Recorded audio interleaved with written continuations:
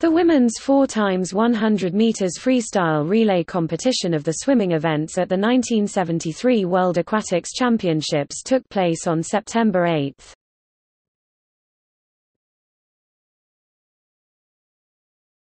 Topic: Records.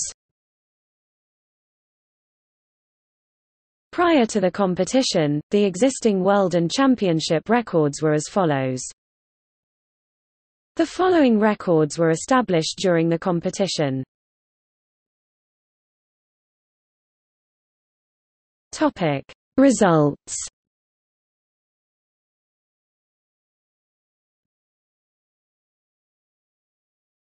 Topic: Heats. Teams participated in two heats.